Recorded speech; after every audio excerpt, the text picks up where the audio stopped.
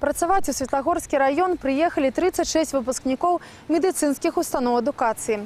Тут маладых спецыялістаў чакалі з нецярплівасцю. Экскурсія ў гарадскі музей, паездка на мемарыял Багратыён, турзлёт прымалі маладых спецыялістаў па-сямейнаму гасцінна.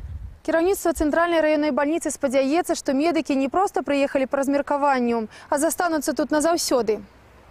За апошнія тры гады бальніца атрымала самую вялікую колькасць маладых спецыялістаў. Сярод новых супрацоўнікаў анестэзіёлагі, рэаніматолагі, неўролаг, акушэр-гінеколог, лабаранты-дыягносты, тэрапеўты, хірург і многія іншыя. Не хапае толькі педыятраў. Актуальнасць гэтай праблемы відавочна не толькі ў Светлагорскім раёне. Это проблема не только для области, а для республики.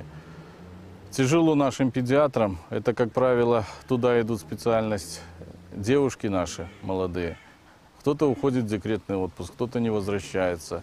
Нагрузки сейчас очень большие, поэтому может бояться этой специальности. Хірург Дзяніс Піншук гамельчанін у Светлагорскую бальніцу трапіў па размеркаванні. Прызнаецца, што адразу ехаць у райцэнтр не хацелася, але зараз малады спецыяліст думае інакш. И сейчас мне нравится коллектив, нравится работать, все устраивает. Вот. Э, Ну, основная роль коллектив, я считаю. Вот именно коллектив хорошо принял, поэтому все отлично. Алена Давыденко з рэчыцкага раёна наадварот выбар на карысць Светлагорскай бальніцы зрабіла сама. Зараз працуе медсястрой у абсервацыйным аддзяленні нованароджаных радзільнага дома. Пра сваіх маленькіх пацыентаў гаворыць з мацярынскай пяшчотай, аб новых калегах з удзячнасцю. Мне понравился родильный дом, э, работа здесь, э, коллектив очень хороший. Э, Когда я пришла на работу, мое желание было здесь работать.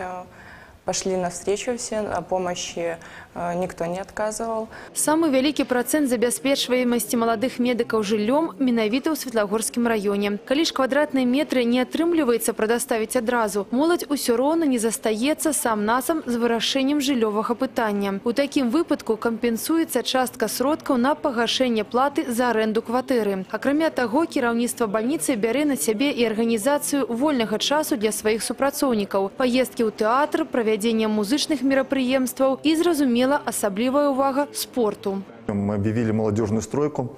Это бывший э, наш пищеблок. Мы из него делаем спортзал. И у нас через года полтора-два будет свой э, зал, где люди могут э, спокойно позаниматься э, каким-то видами спорта. Настольный теннис, э, качалка будет и бильярд. Моладзь хутка ацэньвае шматлікія плюсы працы ў Светлагорскай бальніцы. Тым больш гэтая зацікаўленасць падтрымліваецца і матэрыяльна. У выпадку заключэння кантракта на 5 гадоў медыкі атрымліваюць 20% надбаўку да аклада. А зараз такое рашэнне прынялі 8 маладых спецыялістаў. Марына Северянова, Сергей Лукашук, тэлерадыокампанія «Гомель».